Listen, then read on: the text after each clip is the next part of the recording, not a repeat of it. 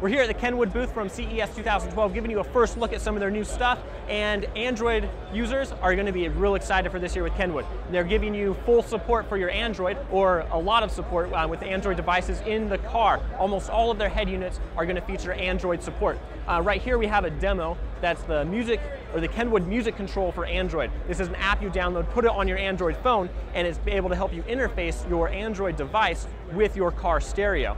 Um, and then also over here, they're, they're interfacing with the Pandora link. So now you can have the wireless Pandora link on your, um, your car stereo, but now you can interface and get the support from Android and BlackBerry. So now it's not just iPhone anymore, it's moving into the Android and BlackBerry markets for that Pandora link. New stuff from Kenwood this year, Android users are gonna be excited. Uh, stay tuned for more.